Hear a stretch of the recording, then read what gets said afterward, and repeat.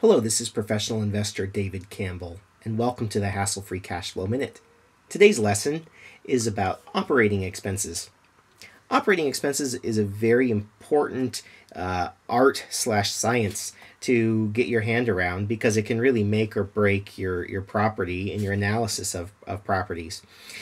The operating expenses are really a key part of understanding net operating income. If you want a refresher, go back to lesson three and understand net operating income is the adjusted gross income less operating expenses. Today's lesson is really how to identify, quantify what is included in operating expenses. A mistake a lot of people make is putting their uh, vacancy rate, rent concessions, and loss to lease as an expense and that is not correct. Uh, all of these things go into adjusting the gross income because you don't spend money for vacancy or rent concession or loss to lease. It's just a lack of income.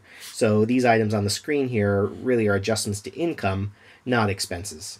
So let's look at operating expenses. Property taxes, typically it's a uh, an amount paid twice a year or depending on your particular area or your arrangement with the lender, you may be paying monthly payments of property taxes into an impound account. Uh, liability and casualty insurance. Um, casualty insurance is part of protecting the lender and the owner against uh, a hazard such as fire or flood or uh, some type of damage to the property. Liability insurance is protecting the owner from a liability inside the property. Uh, such as a, a, slip and fall accident or some type of uh, an electrocution in the, uh, the, the property that could be a liability to the owner. Um, property maintenance.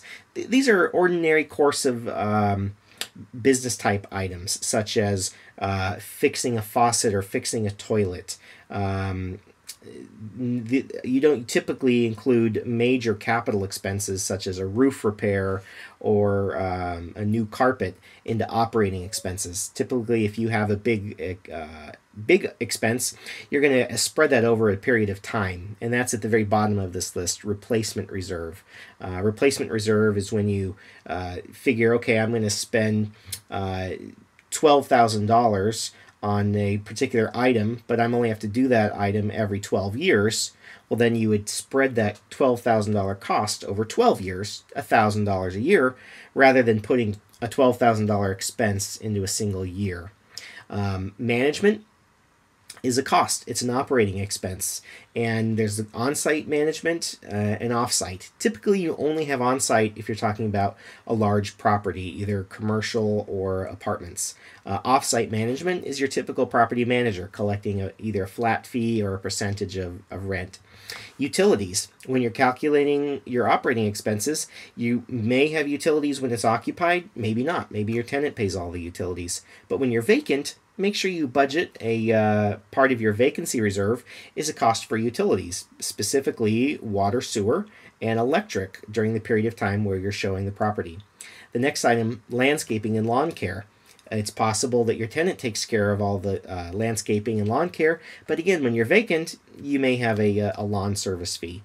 Uh, cost of entity maintenance. This is a, an item that a lot of people forget. If you decide to hold your property in a limited liability company then there's a cost to maintain that uh, entity on an annual basis. Legal fees and annual filing fees to the state where the property and the LLC are located. Accounting and tax preparation.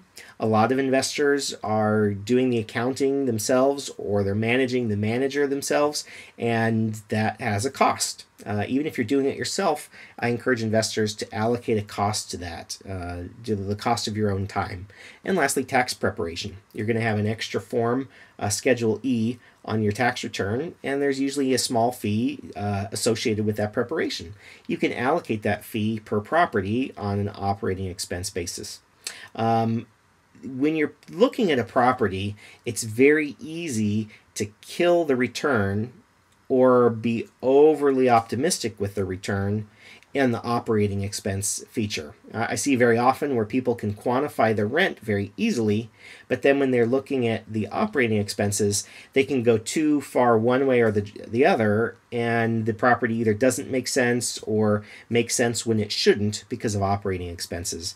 If you're buying a, a property, a resale property, it's a good idea to ask the seller for copies of their operating expenses uh, and operating income. If it's a commercial property, you'll get this on a, uh, a rent roll or uh, a 12 month operating statement. A slang for that could be T12. Give me the tw- trailing 12 month average of operating income and expenses.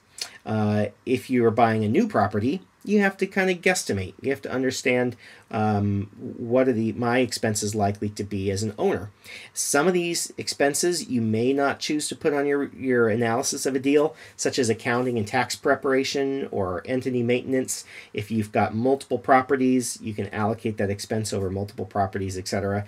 Or just to make the deal pencil, you may uh, decide to leave off some of these items uh, to see if a deal makes sense or does not make sense.